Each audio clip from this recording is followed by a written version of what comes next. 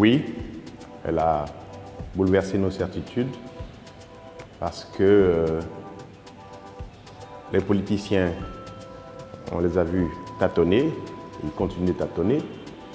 Les médecins, les scientifiques, ils tâtonnent. Bref, c'est le monde entier qui s'est retrouvé à remettre en cause tout ce qu'il avait accumulé comme acquis, tout ce qu'il avait accumulé comme certitude. Donc oui, on peut dire qu'aujourd'hui, euh, tout a été remis en cause.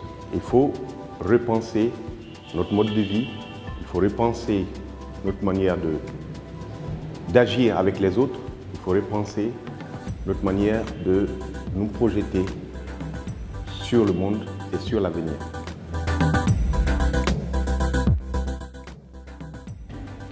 On est beaucoup plus proche, on se rend compte qu'on est beaucoup plus proche qu'on ne le croyait.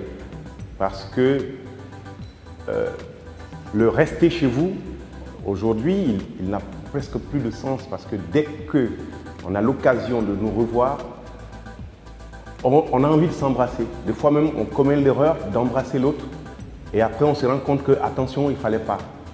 Mais donc, c'est un sentiment humain. Et l'humain, il n'est pas fait pour vivre en autarcie. L'humain, c'est un homme, social. Donc je peux même dire la, socialité. Hein, je me permets ce mot de l'humain se met vraiment euh, en exergue. On découvre que l'humain a besoin de l'autre. Il a besoin d'être proche de l'autre quelles que soient les technologies qu'on a créées pour résoudre ces questions, ces problèmes de distance, aujourd'hui on parle, euh, on est dans les nouvelles technologies qui ont aidé certaines personnes isolées à pouvoir être en contact avec les autres, mais ça ne suffit pas. Donc aujourd'hui on, se rend vraiment compte que euh, nous sommes proches et qu'on a besoin d'être toujours proches les uns des autres. Alors, mon rêve de rapprochement, ce serait, je reviens à ce terme-là, gommer les frontières. C'est-à-dire euh, renvoyer, ramener tout le monde vers l'essentiel. C'est quoi? L'humain, il est un. Et l'héritage de l'humanité, il est un. Qu'il soit japonais, chinois, français, européen ou américain, africain, tout toute la création, toutes les, inventions, tout ce que l'humain a pu imaginer appartient à l'humanité.